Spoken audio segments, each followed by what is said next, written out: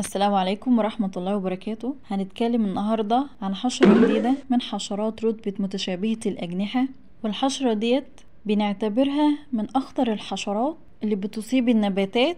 الحشرة ديت هي حشرة المن. التشكل بتاعها بيكون ناقص تدريجي الطور الضار بيكون الحريات والحشرات الكاملة. الأجزاء الفم بتاعتها بتتميز إن هي بتبقى ثاقبة ماصة. الحشرة ديت بيكون حجمها صغير لونها بيكون أخضر وفي بعض الأحيان بيكون أخضر مائل للزرقة وفي أنواع من المن بيكون لون أفرادها سوداء اللون. المن أجزاء فمه بتكون من النوع الثاقبة الماصة والأجزاء بتاعتها بتكون إبرية. من خلالها الحشرة بتقدر إن هي بتغرزها في النبات وبتدخلها في قشرة النبات وبتمتص العصارة. جميع أنواع المن بنميزه إن هو بيكون موجود بالقرب من البطن من المنطقة العلوية زائدتين. الزائدتين دول بنسميهم كورنيكالز اللي بيميز من القطن إن أفراد الحشرات بتكون غير مجنحة وكلها بتبقى إناث بتتوالد بكريا.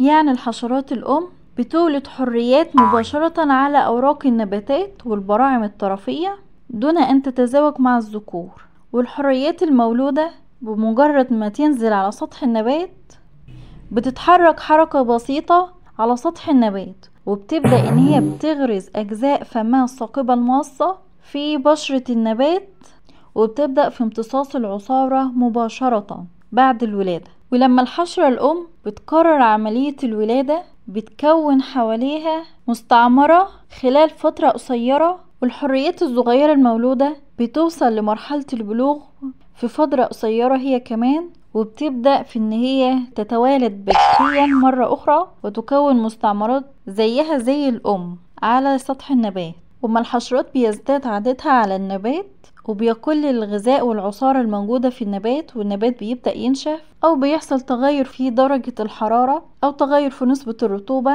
بدرجة لا تسمح في نمو وحياة أفراد المن. فأفراد المن بتولد حريات الحريات ديت بيكون لها أجنحة ولما تنضج هذه الحريات تصل لطور الحشرة الكاملة بتكون مجنحة. والحشرات ديت أفراد المن المجنحة ديت بيبقى لها القدرة على الطيران وبتتنقل من عوائل لعوائل أخرى علشان تكمل دورة حياتها. والحشرات الكاملة ديت لما تصل للعوائل المناسبة عشان تكمل دورة حياتها بتولد حريات أخرى عديمة الأجنحة. ما بيكونش لها أجنحة. وبتستمر في دورة حياة عدة أجيال متتالية بتكون أفرادها عديمة الأجنحة وهكذا بتستمر دورة حياة أفراد المن.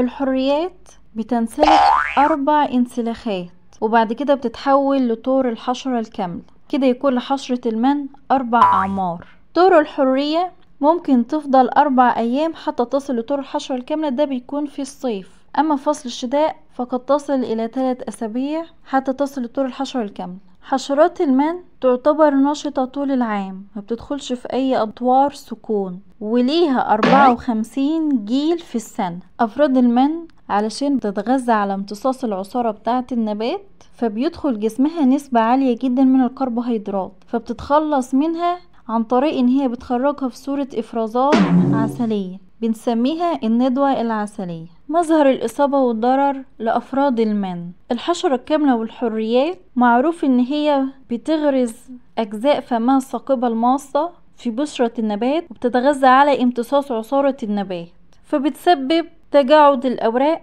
واصفرارها وجفافها وعند اشتداد الإصابة بتسبب موت لهذه النباتات. لما حشرات المن بتصيب القمة النامية بتاعة النبات فبتأثر على القمة النامية وبتسبب موتها وبالتالي النبات بيتوقف نموه وبيضعف وإثماره بيقل. أما لو أفراد المن أصابت عوائل كبيرة بتضعفها وتسبب لها إصفرار للأوراق والأجزاء اللي بتمتصها. وعلشان هي بتخرج الندوة العسلية الندوة العسلية بتحتوي على نسبة عالية من الرطوبة تسبب إن الفطريات بتنمو على العوائل دي. بالإضافة إلى النمل اللي بيتجمع على الندوة العسلية عشان يتغذى عليها وكل ده بيسبب ضعف للنبات. إزاي أقدر أكافح حشرات المن بتخلص من الحشائش. علشان الحشائش ديت بتعتبر عوائل وسطى. المن بيستخدمها كعوائل وبيعيش فيها لحد ما العوائل الرئيسية بتاعته بتنمو بعد كده ينتقل على العوائل الرئيسية من خلالها. بنراعي إن إحنا بنتفحص النباتات علشان نشوف الإصابة بالمان ونلحقه في المراحل المبكرة. علشان في المراحل المبكرة بنجمع الأوراق اللي موجود عليها الإصابة وبنعدمها. وعشان المان سريع النمو فممكن يكون مستعمرة ويسبب تدهور للنبات.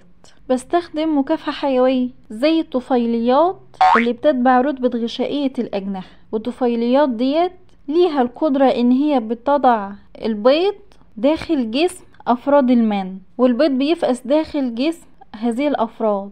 واليرقات بتتغذى على الأجزاء الداخلية لحشرة المن من الداخل حتى تصل لطور الحشرة الكاملة بعد كده بتخرج من جسم حشرات المن بستخدم المفترسات وأهمهم أبو العيد ذو 11 نقطة وأسد المن وذبابة السرفس بستخدم مواد كيميائية بستخدمهم علشان أرش بيهم بؤر الإصابة بالمن أو ممكن أستخدم بدائل للمبيدات زي الصابون السائل زي محلول الخميرة.